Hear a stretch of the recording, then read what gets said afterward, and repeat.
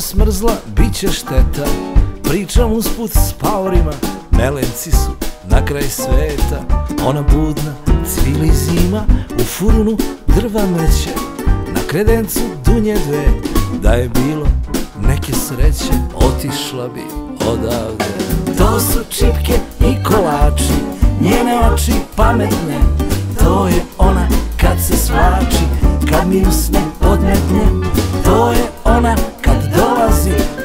čujem sto babata To je ona kad se mazi, kratka kosa i dug vrat.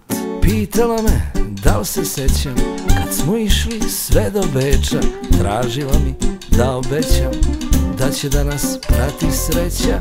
Ili ono kad smo stali da gledamo suncokret Kad smo one trešnje krali kad je bio bolji svet. To su čipke i kolači, njene oči pametne To je ona kad se svlači, kad mi usne podmetne.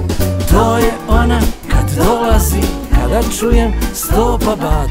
To je ona kad se mazi, kratka kosa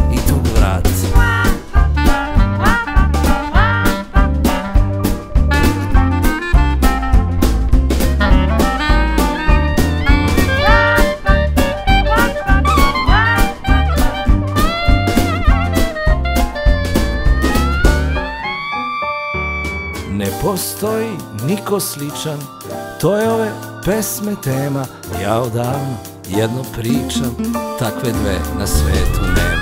To su čipke i kolači Njene oči pametne. To je ona kad se svlači Kad mi uste podmetne. To je ona kad dolazi Kada čujem sto babat To je ona